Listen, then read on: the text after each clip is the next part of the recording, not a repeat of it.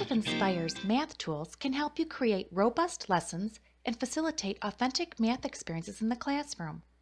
To access the math tools, you can use the Tools icon on your main toolbar. Or go to Tools and select Math Tools. Let's start with the set square. The set square is perfect for creating right angles, perpendicular and parallel lines. When hovering over the set square, look for the X icon. When this is visible, you may move the set square around the page. Look for the arc to rotate the set square. Resize the set square by dragging the sizing handles on either end. Use the pen tool to quickly create lines and angles.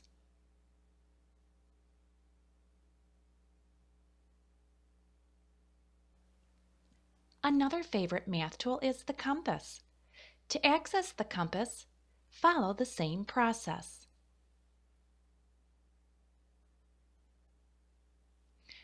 Move and rotate the compass just as you do the set square.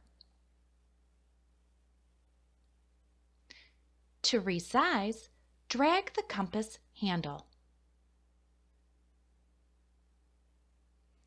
Simply drag the edge of the compass in or out to adjust the radius. Here, for instance, we want to adjust the compass radius to 100 kilometers using the map's scale. Now let's reposition the compass. You may want to select the pen tool and change the color and the width before drawing your circle.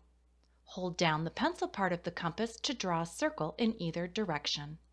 To remove the compass, select Menu